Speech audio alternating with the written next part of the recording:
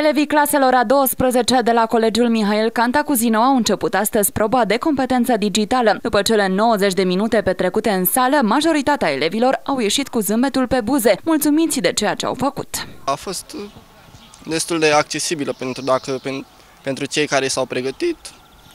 Vă spun că dacă ai, te-ai pregătit și ai idee despre ce este vorba, n-ai trebuie să ai probleme la aceste competențe. Am făcut HTML, uh, Microsoft Access, ce am făcut tot anul. A fost digital. destul de ușoară, da, da, cu mici dificultăți.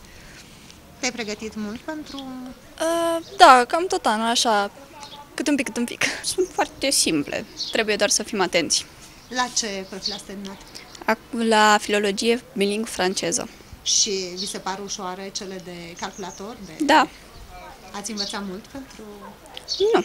Sunt uh, chestii pe care le facem în timpul anului școlar. La Colegiul Sinăian, anul acesta susține examenul de bacalaureat 263 de elevi, atât din seria curentă, cât și din seriile anterioare. Au început competențele pe 6 iunie, competențele de comunicare în limba română. S-au desfășurat foarte bine, s-au terminat, iar săptămâna aceasta se derulează competențele digitale.